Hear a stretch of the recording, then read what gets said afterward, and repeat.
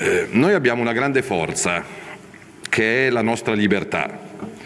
nel senso che noi non siamo costretti per interesse o per ragionamento a dire sì a tutti i costi, come qualcuno, o no a tutti i costi.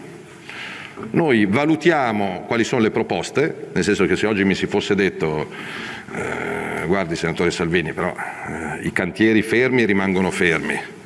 saremo costretti ad aumentare l'IMU, ad aumentare l'IVA, ad aumentare l'IRPEF perché ce lo chiede l'Europa. Sull'immigrazione non potremo controllare alcunché e, e di riaperture del Paese ne riparliamo fra sei mesi, avremmo salutato, ringraziato con estremo garbo, estrema educazione, ma saremo qua a raccontarvi un'altra cosa. Abbiamo sentito l'inizio di un percorso interessante per il Paese, dobbiamo tornare settimana prossima. E quindi se oggi mi chiedete ma quindi è sì, è no e forse, siamo all'inizio di un percorso per serietà, settimana prossima ci siamo impegnati a entrare nel merito e quindi settimana prossima vi potremo dire sì o no. Non commento i sì o i no degli altri, li rispetto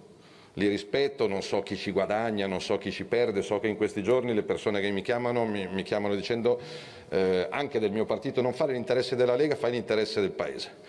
Questo è, ovviamente non abbiamo parlato di ministri, di governi tecnici, di governi politici, di formule miste, di sottosegretari, eh, lascio che altri si esercitino col toto ministri, semplicemente io ho detto per chiarezza che la Lega non sarà per il forse, cioè, se saremo convinti del progetto e dell'idea d'Italia, sarà un sì convinto che ci vedrà partecipi, non alla finestra. Se non ci saranno le condizioni, perché ripeto, si parlerà perché magari qualche altro partito avrà questa priorità di, di, aumento delle tasse, di blocco dei cantieri, di mancata riapertura dei negozi e delle scuole, allora il nostro sarà, sarà un giudizio diverso, però io penso che, che stiamo dimostrando lealtà e serietà. E poi per quello che ci riguarda il bene del Paese viene